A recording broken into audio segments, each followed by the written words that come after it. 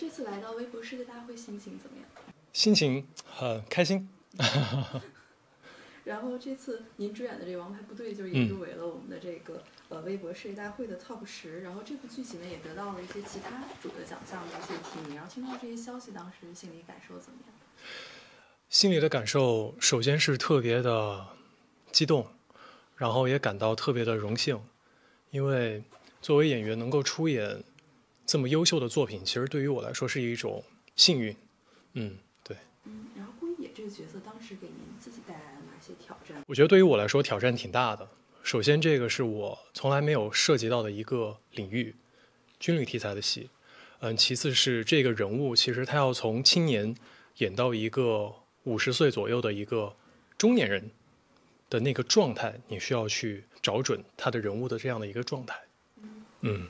就为了去找准这个状态，你有做哪些准备？有很多，我觉得前期跟导演交流去沟通，这个是一个最重要的一个环节。嗯，因为导演其实他是最清楚这个人物也好、剧集也好、整个脉络的这样的一个人，所以你跟他有一个前期保持一个很好的沟通，他可以去帮你疏通这样的一些问题也好啊，或者是帮你去找到这样的一个人物的感觉。嗯。然后当时就是这个军人的角色在体能上是否有提前做一些？对，当时有提前去部队做一个训练，就住在部队，每天早上出早操，然后每天晚上就是很早很早就要熄灯。嗯，对。嗯，然后有没有学会一些新的技能，或者养成一些新的习惯？哇哦，其实有，嗯，早睡早起这个习惯，其实我一直都有。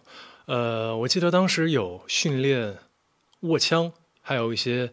呃，正步啊之类的一些训练，嗯嗯，然后这次就是呃，在《玉骨遥》里面的角色也受到了很多观众的一些期待。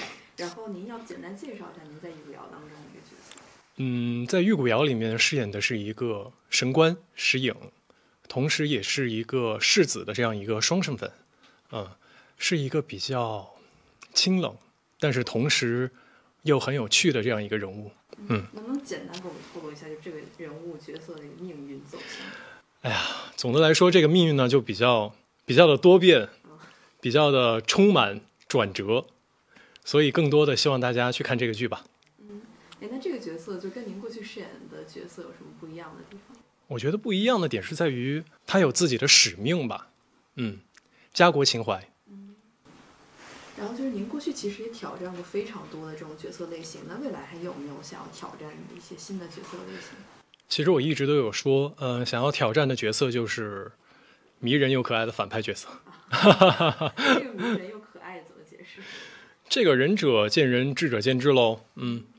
然后未来还有哪些待播作品会跟大家见面？呃，未来首先是《胶原伴我》，啊，我在里面饰演的是一个设计师盛阳。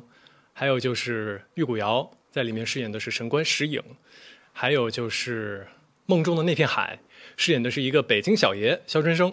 嗯，哎，能不能都简单的就是介绍一下这几个角色他们不同的一些特点？哇哦，期待一点。盛阳是比较温暖，然后有自己的理想跟抱负，嗯，不被现实打倒，嗯。然后石影刚介绍过了，肖春生嘛，他就是一个从小喜欢去做各种各样的尝试。然后喜欢去社交，有社交，那个牛好症，对。嗯，然后对自己二零二三年的这个工作和生活还有哪些新的计划？新的计划，我觉得就是顺顺利利、平平安安。然后许一个二零二三年的新年愿望。顺顺利利、平平安安。